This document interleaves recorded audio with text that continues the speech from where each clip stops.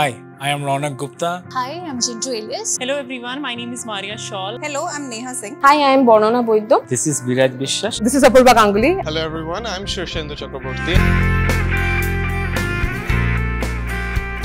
I recently joined SRM University AP in the Department of Literature and Languages. I'm currently doing my research under Professor Bhat, uh, Dr. Partha Bhattacharjee and uh, my research area is more focused on the interplay of memory and space in the context of graphic narratives. I'm working with Dr. Rajni on disability studies, particularly focusing on Indian writing in English. In my research, I'm focusing on the area of spatiality and literature to look at spaces like Cochin, which deserves more attention when it comes to the ideas of cosmopolitanism and multiculturalism. I'm working under the guidance of Dr. Shramani Basu.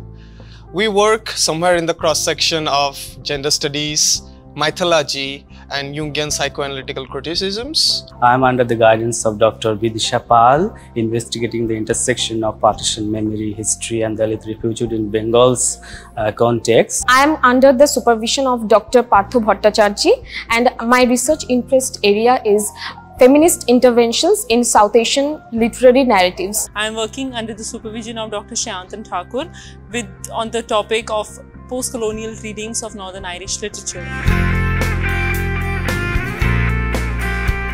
So university has a uh, environment of competence and striving for excellence. This environment of competence and striving for excellence has helped me a lot to push my boundaries to get published in different reputed journals. We also receive funds to participate and present our work at international conferences.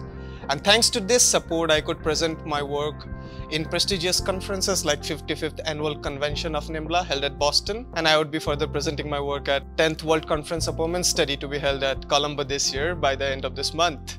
I have already published in this course of my stay in this university two uh, research articles in a Scopus indexed Q1 journal called Journal of Graphic Novel and Comics.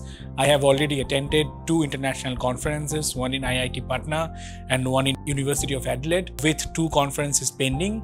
Right now I am pursuing my research in the field of comic studies and Indian graphic narratives uh, and its stylistic changes and interventions and how it uh, portrays Indian political system and social system. This university provides the PhD scholars with a very healthy fellowship which supports our research avenues in every possible way.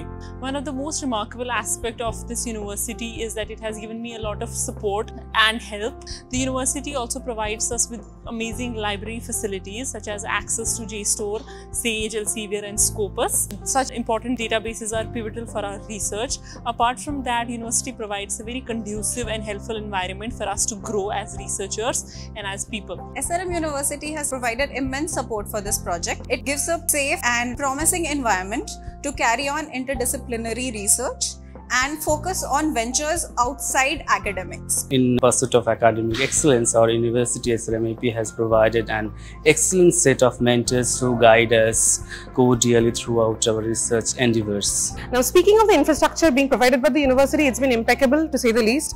I have been quite surprised by the provisions when it comes to the language lab. The language lab uh, by SRM University AP makes sure that they proceed with better, uh, better advances when it comes to research in the areas of language acquisition and development. Thanks SRM for this wonderful support that it provides to the student.